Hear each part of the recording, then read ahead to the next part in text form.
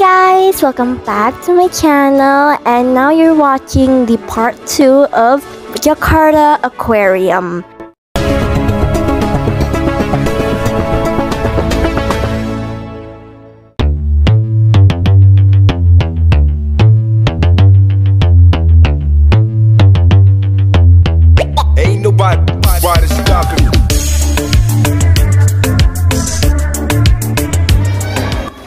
Hari ini aku akan lihat 5D Ocean Explorer. Jadi ini tuh 5D and kalian tuh seperti kayak naik um, kayak kapal gitu. Terus kalian ngelihat apa yang ada di dalam sea. Nah, jadi kalian masuk ke dalam kayak sebuah lift gini. Ini ada simulasinya di screennya. Dan kita menurun ke dasar samudra. Nah, ini guys, kita mulai masuk di dalam aka kapalnya gitu. Dan kita seperti ngeliat, oh apa yang ada di dalam dasar laut. It's safe to say that nothing can catch up to us during our expedition if the need arises. Now, please finally prepare to enter.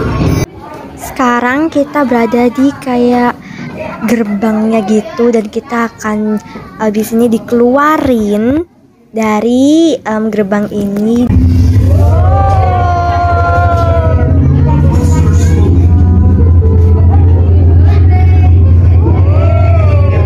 Di sini seru banget guys. Jadi kalian seperti bener-bener ngalami kalian seperti menyusuri dasar samudra di dalam kapal selam. Beautiful?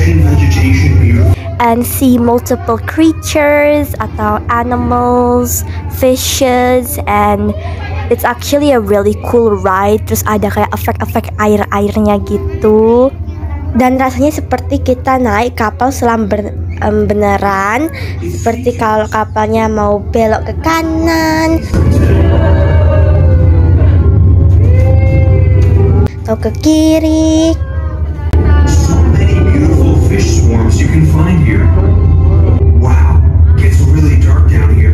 Nah, tambah dalam lagi, ini kita udah nggak ada sinar matahari dan ada seahorse di sini. Terus ada juga kapal yang sudah lama tenggelam.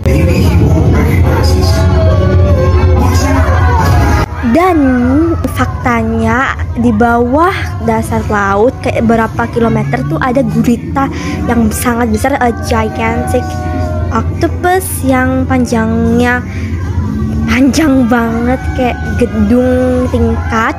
Dan itu adalah fakta beneran.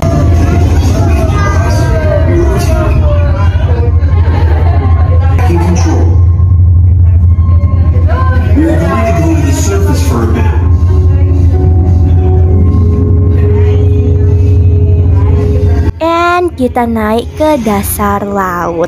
Jadi itu super cool. Jadi kayak simulation apa yang akan terjadi kalau kita naik kapal gitu. Di sini keren guys. Tuh ada paus. Terus ada lumba-lumba.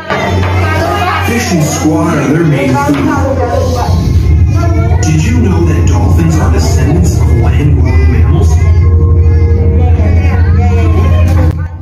Oke guys, kita akan menyelam lagi karena kita akan masuk ke dalam garasi kapal kita tadi. Eh guys, pas kita nyelam, kita diserang ikan hiu. Tuh lihat sampai kaca kapalnya pecah guys.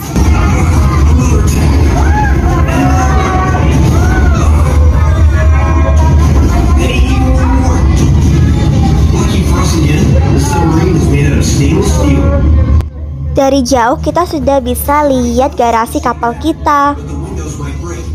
Itu guys garasi kapalnya. Kalian bisa lihat nggak?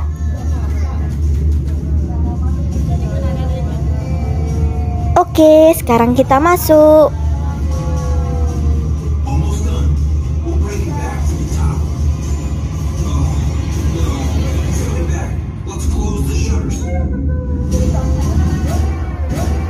Nah, sekarang yuk kita nonton di Piranha Feeding Show.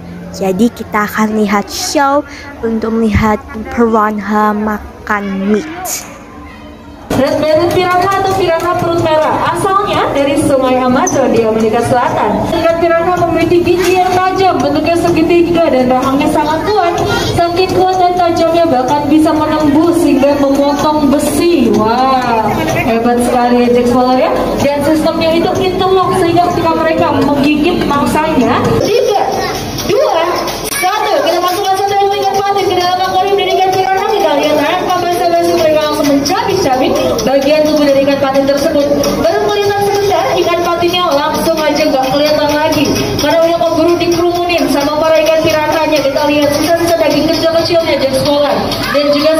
Sisik-sisiknya. Mereka mencabik bagian mangsanya dari bagian perutnya terlebih dahulu.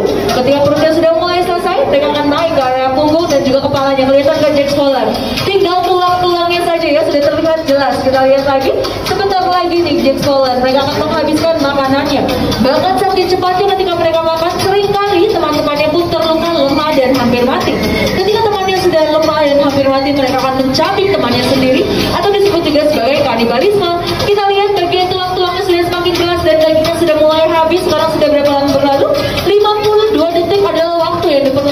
Gerombolan ikan piranha menghabiskan satu ekor ikan patin Jack Swallow. And over here kalian juga bisa pet a snake. Jadi kalian bisa petting the snake. Ini guys ada ikan pari yang langka yang dia itu motifnya seperti batik bukan kayak ikan pari biasa. Tuh super cute. Di Jakarta Aquarium bukan hanya ada hewan lautan tapi juga ada hewan darat yang sangat langka.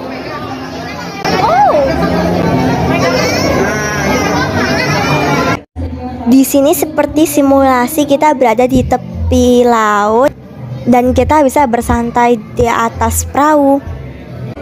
Di sini juga ada perkembangan telur ikan hiu. Dan ini telur ikan hiu beneran, guys. Dan sekarang kita berada di main tank atau em, akuarium utamanya. Dan sini tuh banyak banget ikan-ikan. Terus kalian bisa lihat feeding show. Tuh ada em, penyelamnya ngasih ikan-ikan makan dan di sini banyak variasi ikan seperti ikan pari, ikan hiu dan yang lain-lain.